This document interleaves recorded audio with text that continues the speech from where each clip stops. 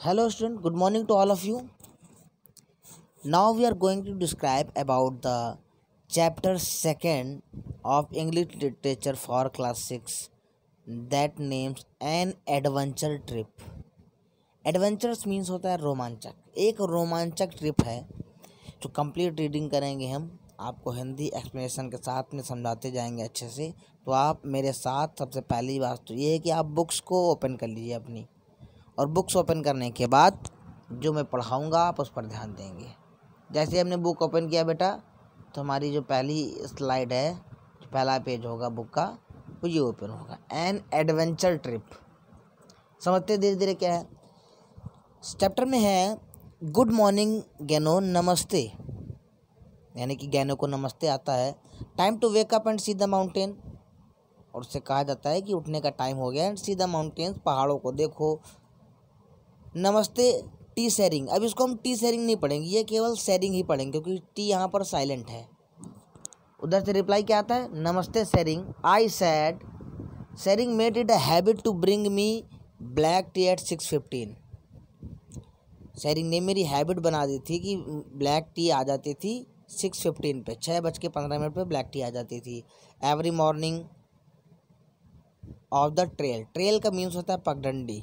That means कि जो भी एक रीति रिवाज जो चला आ रहा है, किसी चीज़ को आदत बना लेना, वो होता है हमारा trail so every morning the trail it was a customary to say namaste namaste the Nepali expression से जो नमस्ते है, ये एक नेपाली एक्सप्रेशन है. That translated to I salute the god within you इसका हिंदी मतलब यही है कि मैं भगवान को जो है वो सल्यूट करता हूँ, अपना नमन करता हूँ, उनको आदर सत्कार के साथ में नमस्ते बोलता हूँ। When you open the door to the hut the bright sunlight seemed almost blinding when you open the door to the hut जब उसने झोपड़ी का दरवाज़ा खोला the bright sunlight seemed almost blinding सूरज की रोशनी इतनी ज़ोर आ रही थी, इतनी तेज़ आ रही थी कि वो ऑलमोस्ट ब्लाइंडिंग मतलब जब भी रोशनी आपने नोटिस किया होगा कि आपके आँखों पर पड़ती है तो आपको कम दिखता है। आई I मीन mean, आप आँखें बंद करने लगते हैं तो वो ऑलमोस्ट ब्लेंडिंग मतलब वो हमें ऐसा लग रहा था कि उसने अंधा कर दिया हमें। Tshering was one of the Sherpas I hired to carry me up and down the mountain Sherpa का मीन्स होता है बेटा आपने देखा होगा अगर आपने रिसेंटली ही केदारनाथ मूवी देखी है तो उस केदारनाथ मूवी में जो सुशांत सिंह ने जो रोल निभाया है वो एक शेरपा ही उनको बोलते हैं, यानी कि जो माउंटेन्स पर अपनी पीठ पर वज़न लाद कर ले जाते हैं या फिर व्यक्तियों को उठा कर ले जाते हैं, उनको शेरपा बोलते थे। तो Tshering was one of the Sherpas I hired to carry me up and down the mountains जो शेयरिंग था, मैंने उसे हायर किया था, वो मुझे माउंटेन से अप एंड डाउन करने के लिए। A Sherpa is a native of the Sherpas area of Nepal Sherpa होता है, वो नेपालीज एरिया का ही एक रहने वाला होता है। The word Sherpa is sometimes mistakenly applied to all porters वैसे तो ये जो वर्ड शेरपा है, ये ज़्यादातर हम उन सब पर लागू कर देते हैं जो पोर्टर्स होते हैं। पोर्टर्स मतलब माल ढोने वाला या बोझा उठाने वाला। Hired four Sherpas to take turns carrying me मैंने चार सिरपास को हायर किया था। टर्न्स कैरिंग मी मुझे ले जाने के लिए। One at a time and on their back एक एक समय पे ऑन देयर बैक अपनी पीठ पर.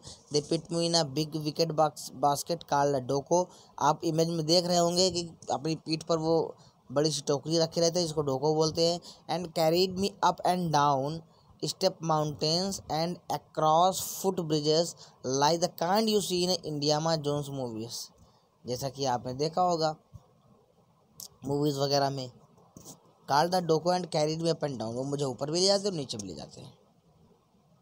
नेक्स्ट आगे बढ़ेंगे बेटा हम foot bridge like the kind you see in the Indiana Jones movie Indiana की जोन्स मूवीज़ में आपने देखा होगा। A doko is usually used to carry supplies और स्मॉल चिल्ड्रन वैसे तो डोको का जो यूज़ है वो छोटे छोटे बच्चों को ले जाने के लिए उसका यूज़ आता है। It is light yet strong ये मज़बूत भी होता है। After I got some help to getting dressed and to my wheel chair मैं अपनी व्हील चेयर पर बैठा था।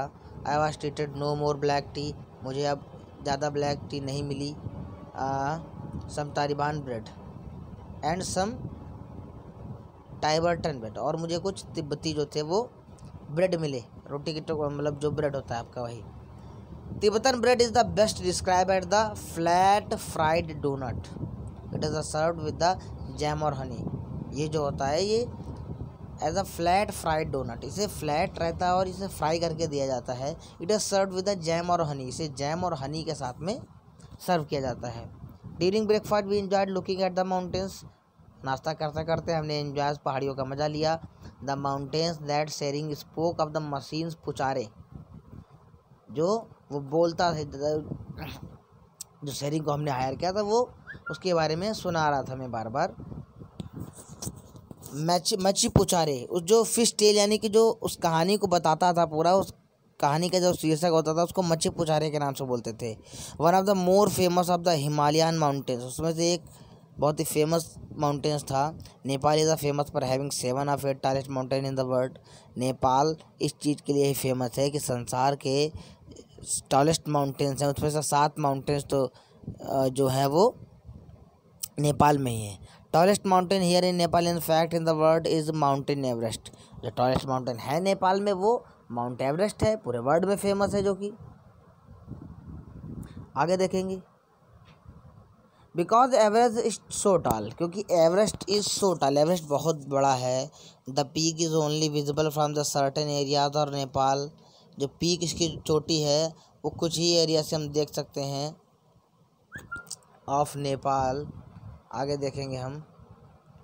And only when there is no cloud cover और जब, कब देख पाएँगे? जब कोई भी बादल ना ढका हुआ, तब। After breakfast is time to start trekking again breakfast करने के बाद दोबारा टाइम हो गया तो कि हम चलें। Trekking refers to hiking along the trail that link Nepal to isolated villages trekking का मीन्स होता है ट्रैक करना, चलना पीछे पीछे सबके। Isolate villagers and the settlement is similar to backpacking backpacking मतलब पीठ पर उठाकर लोगों को चलना ही ट्रैकिंग कहलाता था। हाउ एवर वाइल नेपा Y sorry however while people go backing to get away from the people in Nepal you are the to people's homes and villagers however while people go backing to the get away from the people जो लोग थे, एक दूसरे को पीठ पर उठा कर ले जाते थे, कैसे ले जाते थे? In Nepal you are the visitor to people's homes and village क्योंकि तुम विजिटर्स हो जो लोगों के घर और गाँव को देखने आए हो। Besides other trekkers we share the trails with the pack animals जो बाकी सारे ट्रैकर्स थे we share the trails with the pack animals burros and the porters वो carried supply to the remote villagers और उसमें से क्या थे? पैक एनिमल्स जो बरोज था एंड पोर्टर्स वो carried supply to the remote villagers villages और वो सब भी क्या करते थे विलेजर्स को या फिर जो विजिटर्स आते थे, उनको अपने अपने अकॉर्डिंग्स ले जाते थे। The Sherpa put the strap of the doko on the top of is head अपने सिर पर उसने बाँध रखा था क्या? स्ट्रैप बांधा था एक with the other end of the leather strap wrapped around the lower part of the doko और डोको के चारों तरफ़ जो था, वो लेदर का एक लगा था। आप देख रहे हैं उसमें रस्सी टाइप का बंधा है। दरअसल वो रस्सी नहीं, वो लेदर का ही पार्ट है। He stood up with me still in the doco and tested the weight and balance on his back. और अपनी पीठ पर रखकर उस बैलेंस को वो आजमा रहा था नाप रहा था कितना है वो। No sooner did sooner had I been scattered in the doko then I found myself mobile on the back of the Sherpa मैंने no sooner I been seated in the doko मैं उस पर बैठने ही वाला था doko then I found myself mobile on the back of a Sherpa Sherpa के पीठ पर पाया मैंने, अपने आप को ही walked hunched over dispersing much of my weight on his back अपने पीठ पर मेरा ज़्यादा से ज़्यादा वज़न ले लिया उसने। The Sherpas were amazing Sherpa बहुत अमेजिंग होते हैं, बहुत आश्चर्यचकित, आश्चर्य होते हैं, बहुत जो होते हैं, अद्भुत होते हैं अमेजिंग का अद्भुत कह सकते हैं they walk and sometimes ran वो कुछ बार तो दौड़ते हैं, कई बार टहलते हैं with heavy loads on their bag अपनी पीठ पर बहुत सारा वज़न लेकर with a catlike grace they were sure footed mountains and never seem to get tired वो हमेशा ऐसे चलते हैं जैसे वो उनका हिमालय, उनका अपना खुद का घर हो और कभी वो थके हुए नहीं दिखते हैं। They stepped over logs and up the rock step with amazing ease. They stepped over logs and up rocks वो पत्थरों के ऊपर से कभी कभी चढ़ जाते थे, कभी लट्ठों के ऊपर से कूद जाते थे। There are few clouds to filter out the sun rays sun rays जो थी, उसकी कुछ किरणें जो फ़िल्टर हो रही थी। आ रही थी। Temperature on the trails got highest at fifty degree centigrade into the sun और सूरज की रोशनी इसकी वजह से जो टेम्परेचर था वो फिफ्टी डिग्री सेंटीग्रेड हो गया। Because of my spinal cord injury I was sensitive to hot weather क्योंकि मेरी स्पाइनल कार्ड की इंजरी हुई थी, इसलिए मैं सेंसिटिव था किसमें हॉट वेदर गर्म मौसम के लिए मतलब मुझे मना था। अगर थोड़ी सी भी गर्मी मुझे लगेगी तो मुझे महसूस हो जाएगी। Thankfully there were the plenty of trees no provided shade to provided shade sorry अच्छी बात है कि यहाँ, वहाँ पर प्लेंटी ऑफ़ ट्रीज प्रचुर मात्रा में पेड़ थे जो छाया देंगे। The repair also fix the canopy on the doko to provide the shade where there were no trees Sherpa ने भी सोचा कि चलो रख देते, लेकिन but there were no trees when I got too hot जब मुझे और भी गर्मी लगी I would shout pani the Sherpa word for water मैंने पानी के लिए चिल्लाया, जो पैनी बोला, पैनी, ये शेरपा का ही वर्ड होता है पानी मांगने के लिए. Since very few Sherpa speak English I had to learn some of their language क्योंकि बहुत कम ही शेरपा थे जो इंग्लिश जानते थे, इसलिए मुझे उनकी लैंग्वेज सीखनी पड़ी। When I said pani they stopped and took my hat तो वो रोक देते हैं और आई टुक माय हैड मुझे हैड पर ले जाते हैं।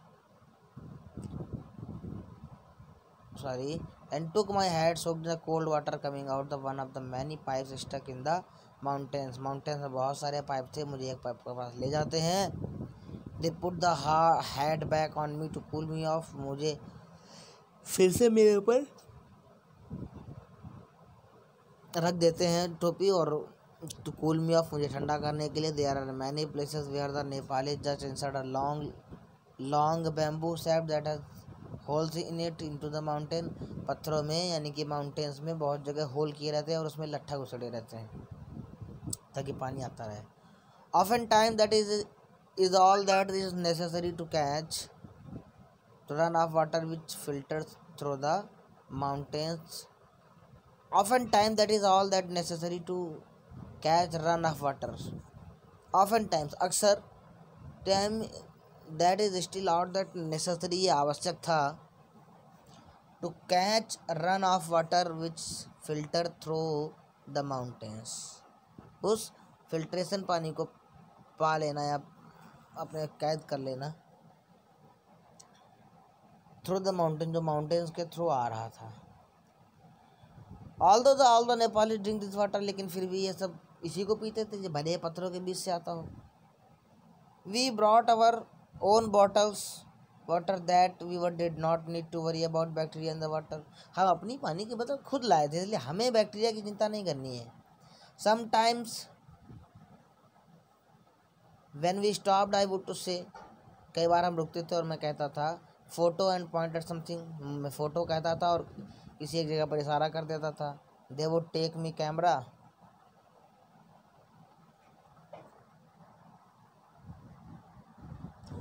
they would take me camera and snap pictures रखते थे और एक पिक्चर को ले लेते थे। The Nepalese were very helpful Nepalese बहुत ही ज़्यादा हेल्पफुल होते थे। It is a part of their culture ये उनके कल्चर का एक पार्ट था। Mom did not speak English but that did not stop them वो माँ इंग्लिश नहीं बोल पाती थी, इसलिए डिड नॉट स्टॉप दम वो नहीं रुकी। If it look like a needed help eating laying down और doing just about any things if it look like यदि ये ऐसा दिखता कि आई नीड हेल्प ईटिंग मुझे ऐसा लगता था कि मुझे कुछ खाने की ज़रूरत है और लेइंग डाउन या कुछ लेटने की और डूइंग जस्ट कुछ करने की ज़रूरत है about any things Sherpas were sure to offer that assistance they are very kind gentle people. तो वो बहुत ही सज्जन और दयालु होते थे तो वो रोक देते थे। Twice a day we would stop to eat twice a day we would stop to eat दो दिनों से हमने खाना बंद कर दिया था। The main dish for the Nepali dal bhat. दाल भात जिसको बोलते हैं। तो मेन डिश थी वो क्या थी? नेपाली की दाल भात थी which consist of the white rice and the lentil soup and usually plain और करीड ग्रीन वेजिटेबल्स जो ज़्यादातर क्या था? वाइट राइस होता था लेंटिल सूप होता था यूजुअली प्लेन और करीड ग्रीन वेजिटेबल्स करी होता था या फिर ग्रीन हरी सब्ज़ियाँ होती थी। Other Nepali food include boiled potatoes और अदर नेपाली फूड्स में क्या होता था? बॉयल्ड पोटैटोस उबली आलू होती थी ब्राउन ब्रेड होता था फ्राइड पोटैटोस होती थी पोटैटोस को फ्राइज किया जाता था। और पास्ता होता था विद ओनियन वेजिटेबल और चीज़, जो चीज़ का ओनियन किसी भी चीज़ का हो सकता था। इंस्टेंट नूडल सूप जल्दी से बनने वाला नूडल सूप होता था pizza and the yak yak cheese the villagers has electricity over a third do it will come after dark and the lodges use will have only single light bulb per room और वहाँ जो light थी वो बहुत कम आती थी। और दबी आती थी जब अंधेरा होता था और एक रूम में केवल एक ही लाइट जलती थी। There are no TVs radios electric power in which यहाँ पर ना तो कोई रेडियो था टीवी था इलेक्ट्रिक स्टोव था वाशर थे ड्रायर थे कुछ नहीं ऐसा था not a computer in the mountains और माउंटेन्स में ऐसा कुछ नहीं होता है। The Nepali generating electric power with the miniature hydro hydro electric station, जो उनके छोटे छोटे हाइड्रो इलेक्ट्रिक स्टेशन थे, उसी से पावर आता था उनका। एज ग्लेशियर्स मेल्ट जब ग्लेशियर पिघलते थे their water runs down the mountain पानी माउंटेन से नीचे आता था।